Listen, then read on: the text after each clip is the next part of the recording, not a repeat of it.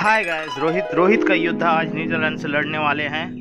11 के 11 उधर आप जैसे कि आप लोग देखे, पाकिस्तान को किस तरह विराट कोहली ने रोंदा और इसी तरह उम्मीद है कि हमारे रोहित के योद्धा फिर से नीदरलैंड को रोंदने वाले हैं और इस बार हमको ज़रूर आशा है कि रोहित शतक मारेंगे और नीदरलैंड को जीतेंगे। इस बार तो उम्मीद जताई जा रही है कि हमारा वर्ल्ड कप इंडिया ही लाने वाला है।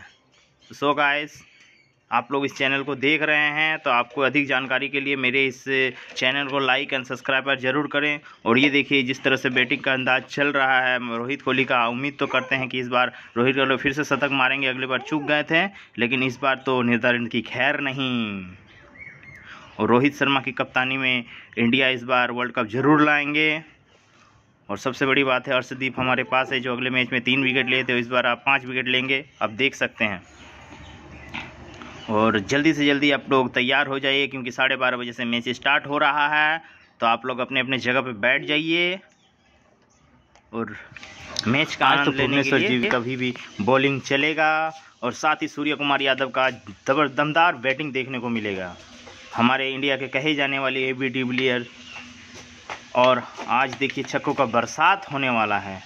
दिनेश कार्तिक भी है, जो फिनिश की अदा निविका करेंगे और सबसे चतुर बॉलर के रूप में हमारे पास अश्विन है, साथ ही हमारे पास अक्षर अक्षर पटेल भी है। और साथ ही राहुल का राहुल का आज क्लाइमैक्स देखने को मिलेगा तो सब आप लगे रहिए और इंडिया का मैच जिताने के लिए ज़्यादा से ज़्यादा चेयर करिए। और टीवी के पास जल्दी से जल्दी आप लोग बैठ जाइए। भुवनेश्वर कुमार का अंदाज़ा देख के लगाया जा सकता है कि आज उनका स्विमिंग का जादू बहुत ही बढ़िया से देखने को मिलने वाला है हम लोगों का।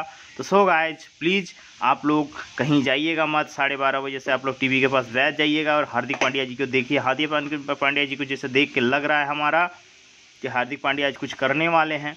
अगले बार तो तीन विकेट लिए थे। आशा करते इस बार पाँच विकेट ले और इंडिया को हार्दिक पांड्या से काफ़ी ज़्यादा उम्मीद है। और कार्तिक जी का स्टाइल तो देख के ऐसा लग रहा है कि इस बार तो नीदरलैंड के छक्के का छक्के छुड़ाएँगे और राहुल जी पूरा मासूम लग रहे हैं चेहरे से देखने के लिए। लेकिन राहुल के जब बल्ला चलता है तो वो फिर किसी की नहीं सुनते हैं।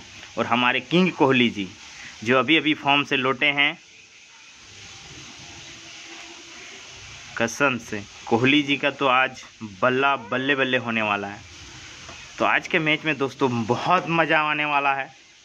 तो आप लोग आ जाइए, जल्दी जल्दी कुछ भी काम कर रहे हैं तो सारा काम छोड़ दीजिए और इंडिया का इंडिया और नीदरलैंड का मज़ा लेने के लिए टीवी के पास आ जाइए। तो सो सो गाय लगे रहिए। जय हिंद, जय भारत।